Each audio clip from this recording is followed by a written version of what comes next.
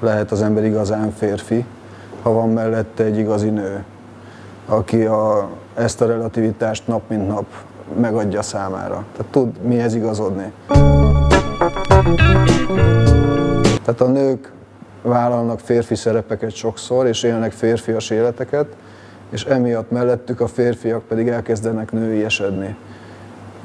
És emiatt érezzük azt, amikor ezzel a témával kapcsolatban beszélni kell, hogy nagyon nehezen fogalmazunk, és, és nehezen találjuk meg a fogodzó pontokat. Nyilván nem lehet elvárni egy nőtől, vagy én kevéssé várom el egy nőtől, hogy vitorlázó legyen, és fázzon, és a, azt a piszkos munkát végezze, ami a vitorlázással jár.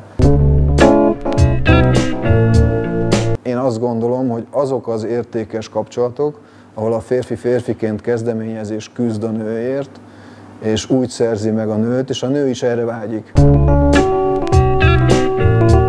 Az embernek választania kell, hogy kihez igazodik. Jó esetben ugye tud az édesapjához igazodni, vagy a nagyapjához igazodni, mint fiúgyerek, vagy az édesanyja neveléséhez, mint fiúgyerek.